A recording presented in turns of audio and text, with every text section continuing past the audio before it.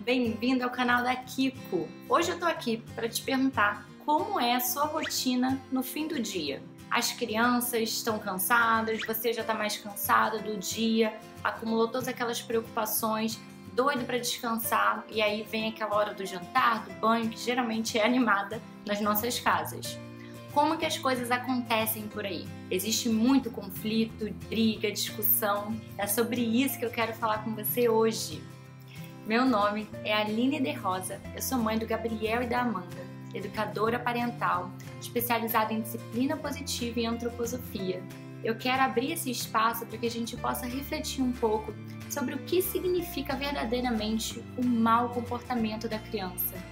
Quando a criança se comporta mal, ela não está necessariamente querendo nos atingir, nos fazer mal, disputar poder. Na verdade, isso é uma forma equivocada deles expressarem o que eles realmente sentem e precisam, mas ainda não conseguem pôr para fora. Cabe a nós adultos sabermos interpretar esses sinais e procurar, através deles, o verdadeiro significado de cada mau comportamento. Nesse sentido, eu quero compartilhar rapidamente com vocês uma história que aconteceu aqui em casa com o Gabriel eles comiam bem, Gabriel e Amanda sempre aceitaram bem a rotina, tudo flui com muita naturalidade aqui em casa. E um belo dia, Gabriel começou a não querer mais sentar para jantar. Ele corria pela casa, eu tinha que sair atrás dele, ele gargalhava, achava uma grande brincadeira e quando eu finalmente consegui alcançá-lo, ele começava a se debater e a chorar muito, dizendo que não queria jantar. E aí eu fui buscar então o motivo pelo qual isso passou a acontecer de forma recorrente o que, o Gabriel estava querendo me comunicar, o que, que ele estava verdadeiramente pedindo através daquele mau comportamento. E eu observei que eles ficavam muito em segundo plano, ali pela casa, brincando sozinhos, enquanto eu estava na cozinha arrumando o jantar, arrumando a mesa, ajeitando as coisas, e provavelmente ele estava se sentindo deslocado, ele precisava ser inserido naquela rotina para que ele pudesse se sentir útil e importante.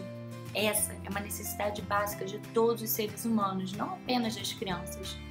Todos precisamos nos sentir úteis, aceitos e importantes. Nesse sentido, a gente deve e pode promover a autonomia da criança dentro de casa, inseri-la na rotina, dar funções e responsabilidades de acordo com a sua idade e fase de desenvolvimento. Decidi então trazer Gabriel e Amanda para essa fase de organização do jantar não é fácil. Eles fazem bagunça, as coisas demoram um pouco mais do que eu gostaria, mas ainda assim vale muito a pena. Os nossos conflitos acabaram por completo nesse instante. Eles são envolvidos, eles escolhem o pratinho que vão comer, me ajudam a servir a comida no prato, a esquentar, levar para a mesa, arrumar a mesa. Assim, não só eles têm uma função, como a gente se conecta. Independente se você trabalha o dia inteiro fora de casa ou se você está em casa o dia inteiro com as crianças, até mesmo e principalmente nas funções da casa é que a gente consegue se conectar. Que criança não adora varrer com você, passar pano com você? Eles pedem diariamente: me envolva, me torne útil, mostre que eu sou capaz.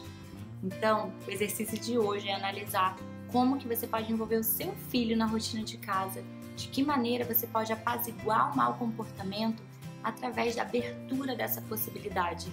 Não precisa castigo, não precisa punir nem chantagear. É necessário procurar o verdadeiro motivo por trás do mau comportamento. Espero que tenha sido útil me acompanhe nas redes sociais, no Instagram, no YouTube, Mãe Que Quero Ser. Estamos sempre compartilhando essas dicas, a nossa rotina diária, as nossas experiências. Vem junto com a gente e te vejo no próximo encontro. Um grande beijo!